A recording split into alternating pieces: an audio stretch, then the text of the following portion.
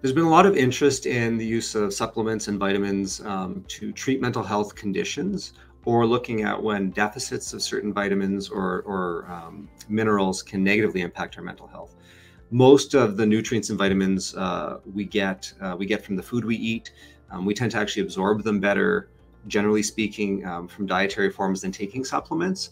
Um, we know that certain vitamins uh, uh are, linked to mental health conditions. The one that's probably um, best um, known, uh, particularly in, in, northern climates, is vitamin D. Um, uh, individuals who have low levels of vitamin D are at risk of depression, and uh, individuals um, who have low levels of vitamin D that are given vitamin D, it can actually improve their um, their mood.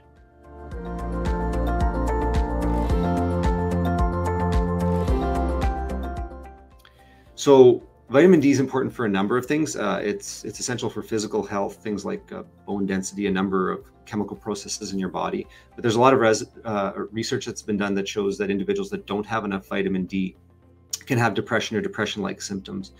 For people that have seasonal depression, vitamin D has been researched extensively, but also yeah, in, in individuals have vitamin D deficiencies. Getting more vitamin D in your diet or taking a supplement um, probably isn't going to be enough to resolve depression on its own, but it can help improve mood, particularly in individuals when, uh, when vitamin D levels are low.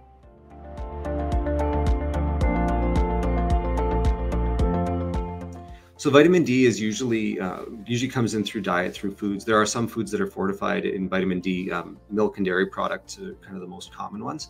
Um, you can take um, different forms of vitamin D as supplements. Um, the the biologically active form is vitamin D3 or what's called calcitriol.